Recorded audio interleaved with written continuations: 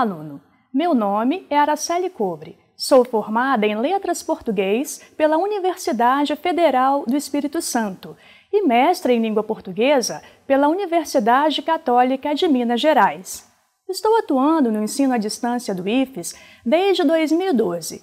Neste período, de abril a junho, vou acompanhar a sua trajetória na disciplina de morfossintaxe. Você sabe o que é morfossintaxe? Morfo remete à forma, estrutura, classificação da palavra, e sintaxe remete à função que cada palavra pode exercer na oração.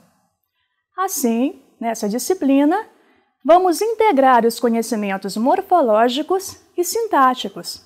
Vamos trabalhar com esses aspectos simultaneamente Vamos ver como eles se relacionam e são importantes para a produção de nossos textos. Para chegarmos a esse objetivo, o nosso curso está organizado em oito semanas. A fim de que você tenha um panorama geral da disciplina, vou fazer uma breve exposição das atividades que serão desenvolvidas nesses dois meses de estudo. Nas três primeiras semanas, em grupo, você realizará uma pesquisa sobre classes gramaticais e suas funções. Nas semanas seguintes, você fará leitura de textos relativos à sintaxe de colocação, de regência e de concordância. Realizará exercícios de análise. Quanto à avaliação da disciplina, as atividades da plataforma somam 40 pontos. Os outros 60 estão distribuídos em duas avaliações. A primeira será a produção e apresentação de um seminário, no valor de 30 pontos. E a segunda será uma prova a ser realizada na última semana do curso, também no valor de 30 pontos, perfazendo 100 pontos totais. Para que tenhamos êxito nessa caminhada, manter uma rotina de estudos é muito importante.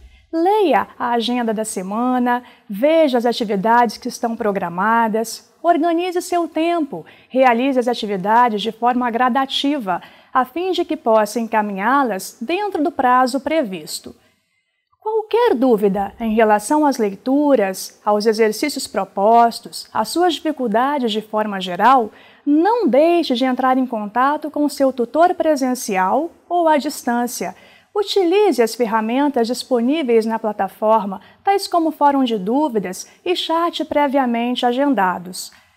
O diálogo permanente é fundamental para o bom andamento de nosso curso.